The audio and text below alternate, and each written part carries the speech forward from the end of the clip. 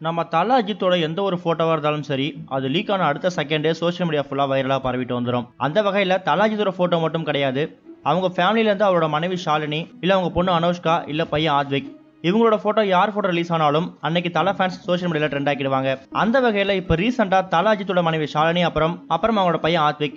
இவங்க ரெண்டு பேருமே இப்போ இருக்கிற மாதிரி ஃபோட்டோ ஒன்று இப்போ ரிலீஸ் ஆயிருக்கு. ஒரு ரெண்டு வாரத்துக்கு முன்னாடி நம்ம தலாஜித்தரோட மனைவி ஷாலினியும் அவங்களோட பையன் ஆத்விக் இவங்க ரெண்டு பேருமே ஒரு டாய் ஷோரூம்ல இருக்க மாதிரி வீடியோ ஒன்று ரிலீஸ் ஆயிருந்துச்சு. அந்த வீடியோல நம்ம குட்டி தலை எனக்கு இந்த கார் தான் வேணும் அப்படிங்கிற மாதிரி அவங்க அம்மாட்ட அடம் பிடிச்சிட்டு இருந்தாரு. அந்த வீடியோ வைரலாக பரவிட்டு வந்துச்சு. அந்த வகையில் இப்போ ரீசெண்டாக அவங்க வெளில பார்த்த ஃபேன் ஒருத்தவர் அவரோட ஃபோட்டோ எடுத்திருக்காரு. இந்த ஃபோட்டோவில் நம்ம குட்டித்தில் பார்க்கறதுக்கு ஒரு கிரீன் கலர் ஷர்ட் போட்டுக்கிட்டு ஒரு ப்ளூ கலர் ஷார்ட்ஸ் போட்டு ரொம்ப க்யூட்டாக இருக்காரு. அது மட்டும் இல்லை பார்க்கறதுக்கே அழகான விஷயம் என்ன அப்படின்னு கேட்டிங்கன்னா அவர் மாட்டிருக்க அந்த வாட்டர் பாட்டில் தான். அம்மாவோட கை நின்றுட்டு இருக்காரு. அவர் கூட சேர்ந்து ஃபேன் ஒருத்தர் செல்ஃபி எடுத்திருக்காரு. நம்ம ஷாலினி அவர்களும் தலாஜித் மாதிரி தான். எப்போ ஃபேன்ஸ் வந்து செல்ஃபி எடுக்கணும் ஃபோட்டோ எடுக்கணும்னு கேட்டாலும் முகம் சுளிக்காம அவங்க ரெஸ்பான்ஸ் கொடுக்குறாங்க.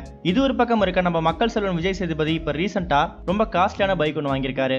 சினிமாவையும் தாண்டி தனக்குன்னு ஒரு ஸ்டைலில் ஆன் ஸ்க்ரீன் ஆஃப் ஸ்க்ரீன் இந்த ரெண்டுத்துலையுமே கொண்டு வந்தவர் தான் மக்கள் செல்வன் விஜய் சேதுபதி. நம்ம தலை மாதிரியே நம்ம விஜய் சேதுபதிக்கும் பைக் மேலே பயங்கர கிரேஸ் இருக்கு.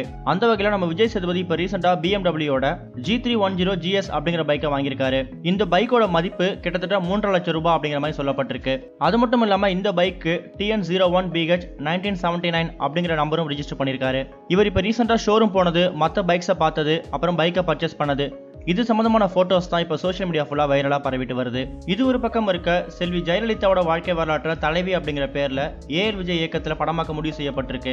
அது மட்டும் இல்லாமல் செல்வி ஜெயலலிதாவோட பிறந்தநாள் நேத்து அதாவது பிப்ரவரி இருபத்தி நாலாம் தேதி இந்த படத்துக்கான அதிகாரப்பூர்வ அறிவிப்பு அப்புறம் போஸ்டர் வெளியிட்டிருந்தாங்க. இந்த நிலையில தலைவி படத்தோட நாயகா நடிக்கிறதுக்கு ஹிந்தி நடிகை வித்யா பாலன் கிட்ட ஒப்பந்தமாகியிருக்காங்க அப்படிங்கிற மாதிரியும் திரைத்துறை வட்டாரங்கள் தெரிவிச்சிருக்காங்க. இது ஒரு பக்கம் இருக்க நடிகர் ஜெயம் ரவி இப்போ ரீசெண்டா சும்மா இருபது கோடி மதிப்புல தனி வீடு ஒன்று வாங்கியிருக்கிறதா தகவல் வெளியாகிருக்கு ஸ்கிரீன் சீன் அப்படிங்கிற நிறுவனம் ஜெயம் ரவியோட மூணு படத்தை தயாரிக்கிறதுக்கு ஒப்பந்தமாயிருக்காங்க. இந்த மூணு படங்கள் நடிக்க ஜெயம் ரவிக்கு பேசப்பட்ட சம்பளம் எதுவும் கிடையாதான். அதுக்கு பதிலாக அந்த நிறுவனத்துக்கு சொந்தமான போயஸ் கலர் கூடிய வீடு ஒன்று ஜெயம் ரவிக்கு அளிக்கப்பட்டிருக்கிறதாகவும் சொல்லப்பட்டிருக்கு. இந்த வீட்டோட மதிப்பு இருபது கோடி ரூபாய் அப்படிங்கிற மாதிரி சொல்லப்படுது. அதே நேரம் மறைந்த பிரபல நடிகை ஸ்ரீதேவியோட புடவைகளை தொண்டு நிறுவனத்துக்கு கொடுக்கறதுக்காக ஸ்ரீதேவி குடும்பத்தை சேர்ந்தவங்க முடிவு பண்ணியிருக்காங்க. அதன்படி கேன்சர் இந்தியா அப்படிங்கிற தொண்டு நிறுவனம் ஸ்ரீதேவியோட புடவைகளை கடந்த சில நாட்களுக்கு முன்னாடி ஏலமிட்டிருக்காங்க. இந்த நிலையில ஸ்ரீதேவியோட புடவை இப்ப ரூபாய் ஒரு லட்சத்தி முப்பதாயிரத்துக்கு ஏலமிடப்பட்டிருக்காகவும் சொல்லப்பட்டிருக்கு. இந்த நியூஸை பற்றி நீங்கள் என்ன நினைக்கிறீங்கன்னு உங்களோட கருத்துக்களை கமெண்ட்டில் போஸ்ட் பண்ணுங்கள் இந்த வீடியோ உங்களுக்கு பிடிச்சிருந்தா லைக் பண்ணுங்கள் ஷேர் பண்ணுங்க. கனெக்டிவிட்டியோட அப்டேட் தெரிஞ்சுக்கிறதுக்கு சேனலை சப்ஸ்கிரைப் பண்ணுங்கள்